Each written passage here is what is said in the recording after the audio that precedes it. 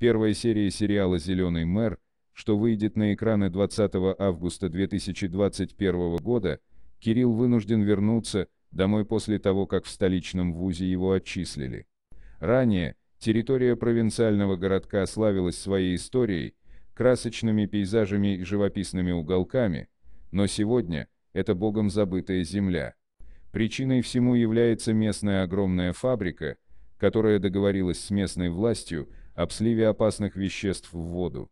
Благодаря этим химическим составляющим, отходы, попавшие в реку, ухудшают положение местных жителей. Вторым фактором является вырубка леса, где государственные правители просто продали древесину заграничным заказчикам. Пожилой мер не желает встревать в бизнес больших властей, он закрывает глаза, получая минимальные доходы. Осознавая, что лишь собственными силами можно спасти любимый городок, Кирилл собирает единомышленников в лице друзей прошлого, затем регистрируют собственное движение зеленых и вырываются в лидеры. Кандидатура парня с высокими амбициями набирает большого разглашения, что дойдет к президенту.